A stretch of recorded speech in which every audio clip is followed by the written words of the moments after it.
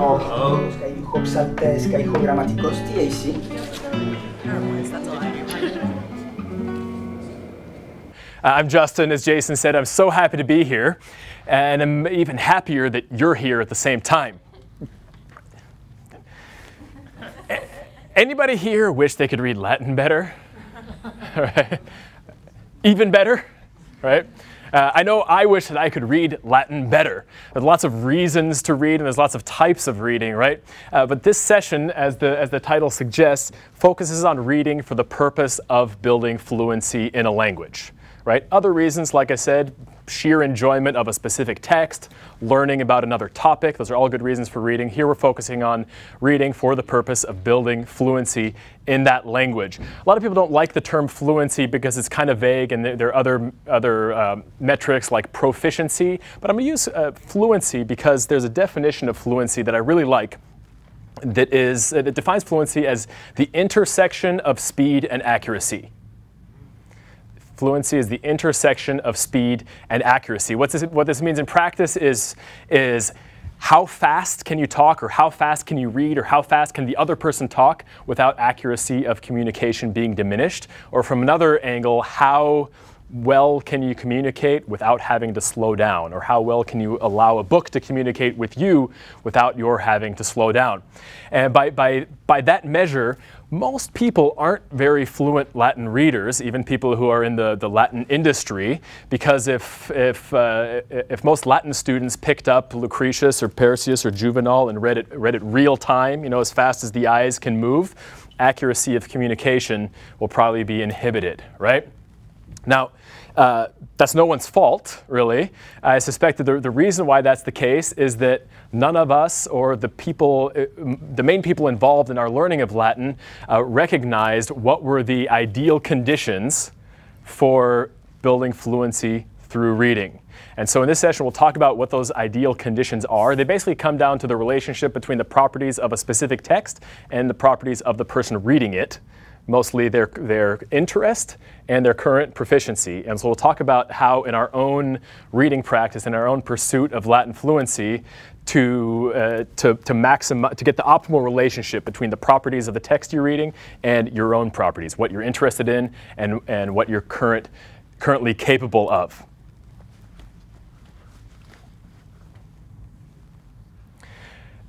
What I'm going to be talking about is, is partly sort of personal testimony, my own testimony as, as someone who attempted to teach himself Latin, mostly by reading and some, some by speaking with other people.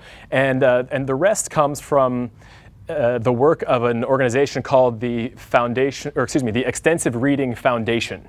This is a, an, an, impressive organization that deals with both first and second language literacy.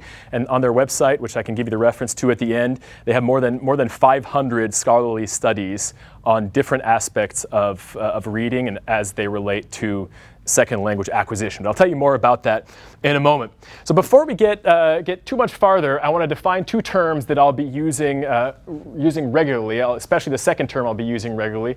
This appears as gray on your screen and blue on mine. There's some, some, uh, some funky thing going on. But is this legible enough, the, the font? OK, because I use that color throughout the presentation. Uh, simply, intensive reading is reading a small amount of text, often hard, not necessarily though, for the purpose of completing some sort of task, figuring out what the argument is, figuring out what the main idea is, or doing some other literary analysis. Extensive reading is reading a large amount of text that's easy enough for you to read with comprehension, even though you're reading lots in one sitting. So we're going to be working, working uh, especially with the concept of extensive reading, and here's why. Because intensive reading involves a small volume of text, it cannot play a big role in your learning the language. It cannot provide you with very much, with just the, the sheer volume of input that you need to, to gain proficiency or fluency in a language. People who deal with, uh, especially with second language literacy, recommend that uh, if, let's say you have 10 hours a week to devote to Latin reading, that'd be nice, right? Say you have 10 hours to, a week to devote to Latin reading. They recommend that you spend nine of those hours on extensive reading, in other words, long reading of easy texts, and about 10% of that time on intensive reading and what we might call studying a text. Most of us in our Latin programs uh, do little, if any, extensive reading. We do mostly intensive reading if we do reading at all, as opposed to, say, deciphering or translating. So that's something I want to keep us in mind. So let's talk about why, why extensive reading, reading large volumes of fairly easy text, is about the best thing you can do for your growing fluency. Basically, it comes down to, to two, I'll go and put up both these things, and then I'll, then, I'll, then I'll expand on them. So extensive reading is effective and essential because in order to have any hope of, of uh, attaining the high level of fluency or proficiency in a language, you need to encounter the features of the language, words, morphology, syntax, in context, in, in textual context in which they actually tend to appear, and you need to, uh, you need to encounter tons of that. So that's what I mean by context and volume here. Let's break that down a little, little more here. So by context, I don't just mean uh, sort of like context clues for figuring out words or something like that. I mean the necessity of not just learning words from a list, but, uh, but a, through encountering them over and over again in texts, uh, acquiring their features. And the reason for this is if it was the case, if knowing a language consisted of being able to map a, a word, the sounds or the letters, onto a definition, then we might be able to do it by means of lists. But someone who actually knows a language, when they, what it means for them to know the words of a language means a lot more than knowing just the definition or even knowing the 19 definitions. So I'm not just talking about the, the other things when you go away to the bottom of the, of the OLD page.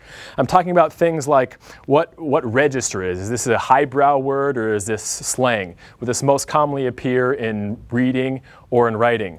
Uh, what other words commonly appear near this word. What, the fancy term for that is collocation. So this is things like uh, we have the word coffee, right? And then we have phrases like to brew coffee, strong coffee, coffee shop. We could express basically those same things by saying to cook coffee, uh, powerful coffee, and coffee store, but those aren't really what we say, right? So knowing the word coffee deeply includes knowing that it's a coffee shop, not a coffee store. I know there could be stores by coffee. Uh, and that it's, it's, it's, strong coffee, not vigorous coffee or something like that, right? Although those sorts of descriptions do appear. Uh, and there's one other big reason. If you ask any linguist for why we need to meet, meet words, and I'm focusing on words because it's easy to focus on, but the same goes for morphology and other aspects of the language. If you ask any linguist, uh, about the information that's carried by a word is a lot more than definition. There's a lot of grammatical information carried by words themselves. And I'll give you just one example. Um, what do you think of this sentence? Stan put the cake. It needs something, right? It needs something, right? It has this star because the study's actually been done. Almost all native speakers of English judge this sentence to be ungrammatical. As in they've, they've actually done this. It's not just some linguist hunch. And it has to do with, with the word put and the fact that even though we all know that put has something to do with placing something or setting it down, the word put doesn't work quite this way. Okay, the word put itself contains embedded in itself other restrictions and requirements for how it can be used. There's no text, no English textbook to my knowledge that tells you what those are right? The only way to acquire that is through a high volume of meeting the word put in context and having it sound right or sound wrong. So that's what I mean by, by, uh, by context, by meeting words in context. What about volume? Uh, something that I'm going to do, this is going to answer hopefully many of your questions. I'm going to you actually a lot of numbers. Not so much statistics. You can find statistics uh, in, in some articles that I'll reference hopefully later, but I'll give you some actual numbers. How much should I read? For how long should I read? How fast should I read for optimal fluency development? I'm to give you some of those numbers. So volume, high volume. Um, the extensive reading foundation, and if you if you glean from all the articles that I mentioned, kind of the the, the score without the details, they recommend uh, 5,000 words or more per week of extensive reading. In other words, the fast pleasure reading in addition to whatever coursework or intensive reading you're doing, if you want to have a hope of meeting enough total instances of a given word or a given phrase to internalize it uh, in the long run. And that's based on, based on the statistical studies of, of corpora, right? And if you, if you read an English text, every how many words will be the word the, every how many words will be the word take, and so on. Um, 5,000 words per week, just by way of comparison, uh, book one of the Aeneid is 4,850 words. This is basically make sure you're at least reading a book uh, that length, a book of the Aeneid per week of pleasure level reading.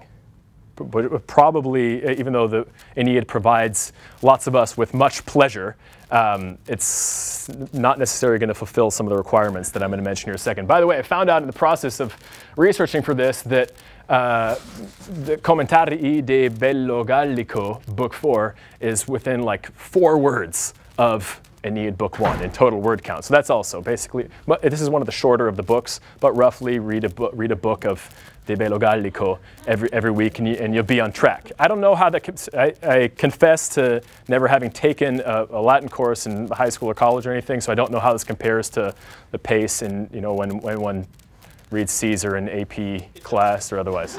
Okay, okay. So there you have it. For now, that's all, that's all I'll say about, about volume for now. The next three points that I'm to tack onto here are all in service of getting the volume you need of in-context uh, in encounters of elements with elements of the language, okay? So if you're going to read that much, you have to read fast, right? Because you don't have time to read that many words at a slow pace because of, you know, time's winged chariot and all that. So, uh, so speed, it's not because reading fast is good for acquiring languages because you need volume, and the only way to get that is speed. Does that make sense? So I'm not claiming you have to go out and, and speed read in order to learn Latin. Uh, how fast are we talking? For beginners, about a, the extensive reading foundation culled from all these, these studies for what's kind of an optimal pace for uh, internalizing the language. I'll make these slides, I'm happy to make these slides available to as well. 150 to 200 words per minute. I have no clue how many words per minute I read or anyone else reads. And some people used to say how many words per minute they could type. But the, the first paragraph of um, Cicero's first Catilinarian oration, this is working less well than I prefer. There we go. First paragraph is 149 words. So really close. So if, if you read that in one minute, you're reading the correct, you're reading at the, the ideal pace. Okay? At this pace, you'll read the whole thing in 25 minutes, which I've done to see multiple times to see if it can be done and how much you can pick up. Uh, but most people, remember going back to the beginning about reading Lucretius and the intersection of speed and accuracy, for most people, this rate will involve severely reduced accuracy in communication, right? So, what can we do about that? What, what kind of text do we need? This thing is, the, uh, this guy's failing me. Here, I'm, I'm doing these. That's what we need, right? That's what, that's what many of the texts that I've mentioned are missing for most Latin learners. Again, easiness itself is not a criterion, but easiness is, a, is, a, is requisite for volume, right? Here's a little arrow showing you how important it is. Well, how easy? Do you want more numbers? I'll give you more, okay? Uh, this is the lowest estimate you'll find in any literature about literacy, about second language learning or acquisition, and about literacy in a second language, is if you want a text not to be something that you, that you study for literary pleasure only, but something that it's causing you to be better at the language. It needs to be bare minimum what we call 95% comprehensible. That would mean, uh, let's say you knew all the grammar just perfectly, you knew all the culture perfectly, and the only thing standing in the way of comprehension was new vocabulary. Five new words out of every 100 words in the passage, right? So that, that's kind of what this 95% means. The, like I said, this is the lowest uh, uh number that you'll see for this. Numbers go as high as 98%. And uh, partly to, to break up in an enjoyable way the flow of this presentation, partly to really drive this home because this is something that uh, how many people here ever push themselves in their Latin reading? Okay, I've many times pushed myself. We've had to, right? We haven't had many, many other options. Um, I want to suggest a different type of pushing ourselves in our Latin reading in a moment. But first, we're going to read a little story together. And because this is Living Latin in NYC, the story is in English. And uh, and I've simulated unknown words by, by replacing some of the English words with words that aren't English words, as far as I know. I wonder if I accidentally you know, replaced it with an obscure English word. We'll see. Um, but I made sure that, they're, that they're, they fit with English phonology and where relevant, the, the endings are English endings. So I try to make it as realistic as possible. Uh, there shouldn't be any grammar problems for the English speakers in the room. But um, we're going to look at, at this story with a couple different levels of difficulty. Okay, uh, this was not my. I mean, I wrote this story, but it wasn't my idea. I got the idea of, of doing this component of the presentation from a similar presentation uh, that I observed some time back. So here's the story coming. Why do I keep? I never learn, right? Okay. This is not the story. Zero unknown words on this page, though, which is pretty nice, right? Okay, so here's the story. Just take, take a minute to, to scan it on your own.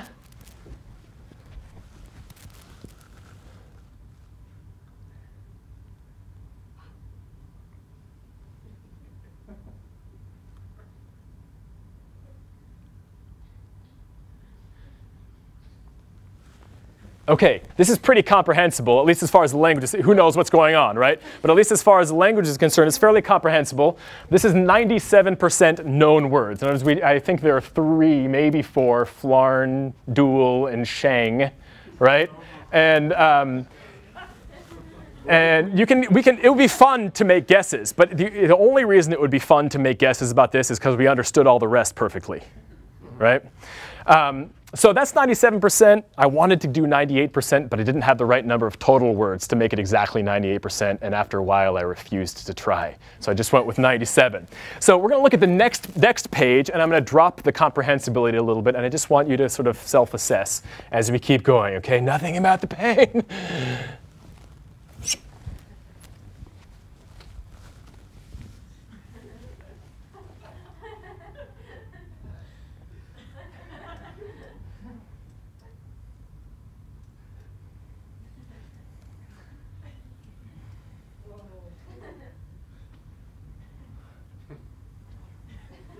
Des Moines, the of touch. All right, so this is, this is 94, I mean, I was shooting for 95 to give you that number that I said. This is 94. Now, we can still kind of enjoy this, partly because we're nerds anyway, and we're like, oh, Kren, it sounds kind of like fantasy-y, right? And we can still kind of enjoy this, but uh, again, I want to emphasize, the only reason we're able to still enjoy this, even with, well, eh, maybe you do, maybe you don't, I enjoy this, even with this many unknown words, is because we understand the rest perfectly, and it's kind of fun to think about what maybe those things are and come up with our own ideas. This I, would not be the case if if we didn't really know the language really well already. And I also want to note something else, which, which I kind of hinted at before, but these are really short sentences. There's no fancy grammar. Uh, there, there aren't cultural obstacles. We don't have the context for the story. That's maybe an, an obstacle to comprehension, but, um, but really the only problem is these couple unknown words. So this is kind of the lowest that someone recommends if you, if you want to be able to, and you could read this pretty fast, but I, to me, honestly, this is like too many unknown words for me to be satisfied. I don't know about about you guys. But I want to show you. There is Loof and Frey. Especially because who knows, sometimes they might occur close together, right? And that, that makes conjecture extra quickly, extra tricky. I want to show you a couple more, even though this is kind of the minimum that, that is recommended, I want to show you what we do to ourselves when we push ourselves in our Latin reading and push our students. So that was 95, this is 90%, the continuation of the story.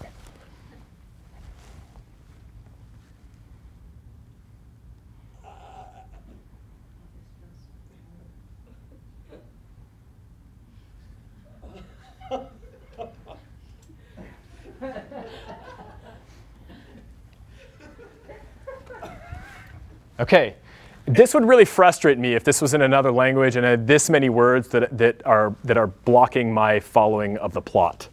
Um, and again, this is 90%, but if you ask most people on the street, not people on the street, most Latinists, hey, is 90% comprehensibility a good kind of starting point to go and read some? Sure, yeah, that's so that that's like easy. 90%, you can understand almost all of it. Nine tenths, there's only one tenth you can't understand. Okay, but this is this gets to be kind of problematic. I'll give you even more numbers to make this more real in a second. Here, page four of five is coming up.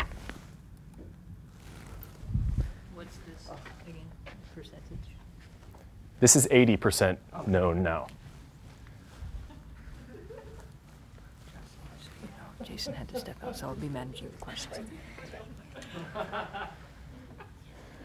Reaching Jabberwocky Mm-hmm. So yeah, that's a good comment. Reaching kind of this almost has Jabberwockian qualities, and this is with 80% known words. And by the way, this, if you know 1,500 Latin words, cold, like the top 1,500 most common Latin words, then you pick up the average text, then it will be this level of known words. Okay? Uh, if, you, if you know every word in Wheelock's cold, that's 843 words. Okay, so we plus what, 657. Wheelock's plus 657 words gets you this level of comprehensibility with the average Latin text if, when you did Wheelock's, you not only internalized all the words, but every single aspect of the grammar, including obscure grammar that's not in Wheelock's. Okay? Last one, this is going to be 70%, and this is, this is where we'll stop doing this to ourselves. Or I'll stop doing it to you.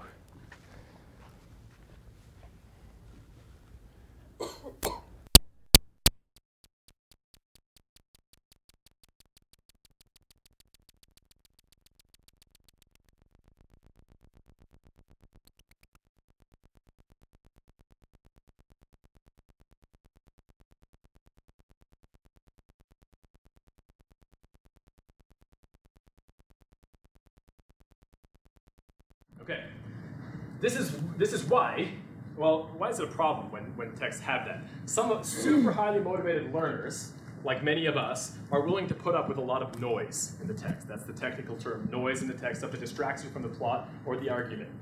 Most people are not. And uh, so besides the fact that it, that, it, that it affectively disturbs us to deal with that amount of noise, is also the fact that you're just no longer meeting as many instances of words that you can understand over the course of time. And so you're not getting, getting the repetitions of those words. Also, it uh, reduces the overall comprehension of the story, which makes it trickier to understand and expand, and the, and the, the trickiness multiplies as you go along. If you had read an entire story at this level, and some of those new words will repeat, but many of the new words are going to be new ones on top of those. you know what I mean? Okay. Last little point about extensive reading here is interest. Again, this is all in service of context and volume. If you're going to read that much, you'll enjoy your life more if you're interested in what you're reading, right? So what we really need, if you've figured this out already, or again, this is in service of all, what you really need is stuff that fits inside this circle, ellipse, okay? Anybody here ever had trouble with their Latin learning, their Latin reading, anything like that? Okay, I, I submit the number one reason why you've ever had trouble is not the general difficulty of the Latin language. It's not something about you. Uh, it's not even good or bad instruction. It's the shortage of texts that for you fit into that blue ellipse. So what can we do about that? in a way, it's like, well, someone's got to write those. You've got to hire the person who's good enough at Latin and, and, and, and commission a fantasy novel in, in lovely but easy Latin, right? Stuff like that. But fortunately, there's, there are some gems out there. I'm going to give you some ideas. These are kind of lists that you, there's no way you could soak up just glancing at it now. Feel free to take photos, but I'll also just be sharing this PowerPoint with anyone who wishes it anyway, so you might not want to. And I've, there are so many great texts out there, you know, stuff written in Latin that you didn't know was out there that I want to close or almost close by sharing with you. But I've specifically limited my lists to texts uh, whose entire text is available free online somewhere. And in fact, they've limited even further by ones that the Academia Vivarium Novum has collected on its website. Again, you don't have to uh, kind of figure this all out or memorize this or anything because I'll share it with you. I just want to give you an idea of what's out there because there's sort of a genre that flourished from about 1890 to 1920 when something called the, the direct method was in its heyday. You might have heard of W.H.D. Rouse. Uh, Appleton was of his same school, as in literally they worked at the same school. Um, and so they put out some great stuff. These are, I picked these on the basis of the fact that I went through them, as in I put the, picked them for this list. I went through them and I found, yeah, this is not too tough, and I actually want to turn the page. It's, it's just a turn, do you want to turn the page test? Because if you're reading for the purposes of fluency, not for the purpose of analysis or like that, all you want is something that gets you keep reading Latin and you can understand it. Okay? That's why what, the base on which I picked this. So these are, these are readers or stories. There are also some pretty sweet student plays uh, along the same lines. Some other gems that are not at that site but are all available free. Actually, no, they're not. The top ones aren't. uh, this book, Lingua Latina per se illustrata, that I, I bet you have probably heard of, um, by Hans, by the late Hans Henning Ørberg.